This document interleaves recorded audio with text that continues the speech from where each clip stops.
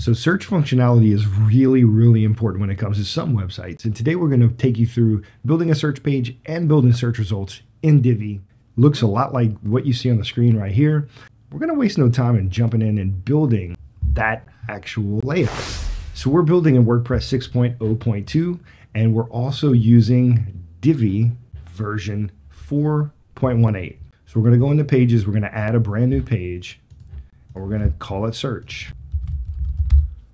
We're going to use a Divi builder. That way we can use one of the layouts that's already here. We're going to use a Divi streaming layout because we've already got one page on this on this site that's already there. So we're going to hit choose pre-made layout. We're going to search for streaming and we're just going to pull one of the layouts. So this one looks good. The about page has a good header. Um, actually, the blog looks really good. So we're going to use this layout and we're going to eliminate a lot of the other things that are on this layout.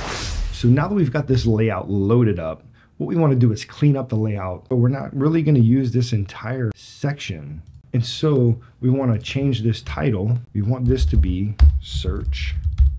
And we're going to eliminate the subscribe module and we're just going to add in a search module. So we've got to go in and change the layout a little bit. We want to incorporate the design into this layout. So I fully understand that this may not be the most elegant layout, but all you really need is a page that has a search module. We're going to go ahead and publish that page, right? So we've got our search page. I'm to exit the visual builder and show you kind of what it looks like, but this isn't really going to work. Like if I hit sample and hit search, we're going to get the basic, right? It's going to show up the sample page, but this looks terrible.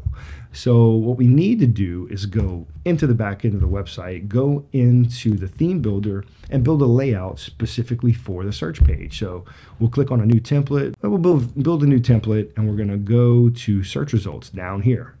Hit create a template. It's gonna pull in the global header. We're gonna add um, custom body. So let's go ahead and open this layout. We're gonna hit plus, and what we're gonna do is type in streamer again. I'm going to bring in that streamer pack and we used this blog layout before. I think we're going to pull that exact same one for a few reasons, right? Number one, it's already got the blog module in it and we're going to just change one thing in this layout. We don't really need this this main one. We don't really need this, but I like the backgrounds. Let's get rid of all of this and let's just take this row and bring it down here. So I think that looks pretty cool. And get rid of the Divi rights. We can we'd put that in a footer anyway. We'll change the blog to search results. We'll get rid of this module and we'll get rid of this whole row. So now things look a little bit better. And this is where the really important thing that you need to do for search result pages is post for current pages. You want to select yes, right? So we're to hit OK. We're to hit save. Once that's saved, we're to close this layout. And you got to hit save. Anytime you create a new one of these templates, you want to hit save here as well. So let's go back into pages and let's find that search page. So we've got that search page. Let's view it. We're to type in sample again. You remember what it looked like just a second ago. We're to search for it and the results page should look a little different. Now you see we've got this nice search results sample page. We can click on this. It's going to take us to that sample page, which is the page that we've pulled in previous layouts. It's just that sample page. So we've got search here as well. And now you've got an official search page. And once you design the search page that the results show up on, so if, again, if I, if I hit search and type it in, it's going to pull up that search page as the results and it will just work for you.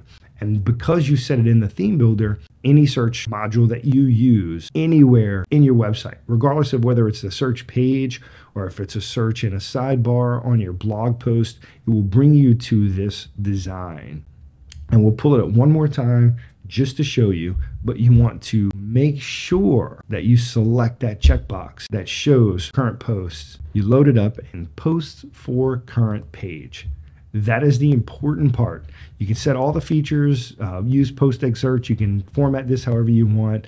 You can do pagination. You can put how many posts you want on the page. But you need to make sure that the option for post for current page is selected. Once that's done, anything that shows up on this page, anything you search for will show up as it should. And that's how you build a search and search results for any Divi website. If you really love what we're doing here and this video brought you some value, continue on the journey. Find one of these videos, click on it. This is what YouTube thinks is going to be the most valuable for you. Continue learning, continue the education, and one huge favor. Share this with somebody who can get some value from it as well. Someone who's looking to learn about WordPress or Divi that you think could benefit from this. Invite them into the community. Leave comments on the videos. Let's interact. And just like this one, it was recently requested, and now it's a video that's going to be live. That's the way it works. I want to hear your feedback, and I want to give you the videos that bring you value. Don't be afraid to leave a comment. I appreciate you, as always, for watching. And don't forget, these videos, they're still here. See you soon. If you really enjoy what we're doing here, leave us a comment, leave us a comment, and let us know what you think about the video. Let us know what you need and how you love these. I hope I don't leave this in a video. If you see this, Easter egg,